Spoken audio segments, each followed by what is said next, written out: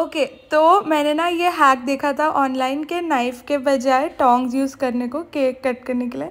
But this hack is not just to cut cake properly but it's also to steal cake and give people छोटे छोटे pieces तो सबसे पहले तो छोटा टोंग ले लो और सबको प्लेट में सर्व कर दो।